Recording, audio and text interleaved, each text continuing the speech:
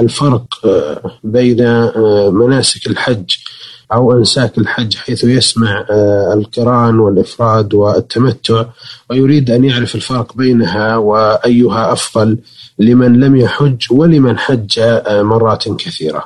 القرآن معناه أن يحرم بالحج والعمرة معا من الميقات أو أن يحرم بالعمرة ثم يدخل عليها الحج قبل الشروع في طواف العمرة. ويأتي لهما بطواف واحد وسعي واحد ويجب عليه ذبح الهدي يوم النحر أو الأيام التي بعده من أيام التشريق. هذا هو القرآن بمعنى أنه قرن بين نسكين وأدى لهما طوافا واحدا وسعيا واحدا.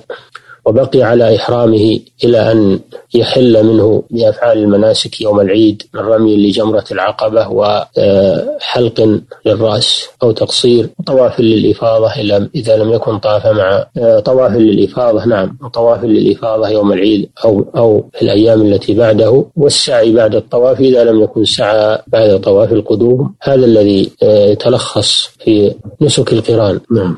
وأما التمتع فمعناه أن يحرم بالعمرة أن يحرم بالعمرة من الميقات ثم يؤديها ثم يؤديها بطواف وسعي بين الصفا والمروة وحلق أو تقصير ثم يتحلل منها و يعود حلالا كما كان قبل الإحرام ثم يحرم بالحج من عامه ثم يحرم بالحج من عامه إذا جاءت أيام الحج في يوم التروية أو يوم أو قبل نهاية الوقوف أو قبل نهاية الوقوف بعرفة. ثم يؤدي مناسك الحج ويجب عليه الهدي إذا كان من غير حاضر المسجد الحرام. فيكون أدى عمرة أولا ثم تحلل منها ثم أحرم بالحج.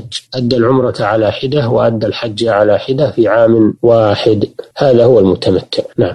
والمفرد؟ أما المفرد فهو الذي يحرم بالحج فقط من الميقات ويبقى على إحرامه إلى أن يؤدي مناسك الحج يوم العيد وليس عليه فدية. هذا هو المفرد الذي أفرد نسكا واحدا وهو الحج ولم ينوي عمرة لم ينوي عمرة مع الحج. هذا هو المفرد. نعم. بارك الله فيكم.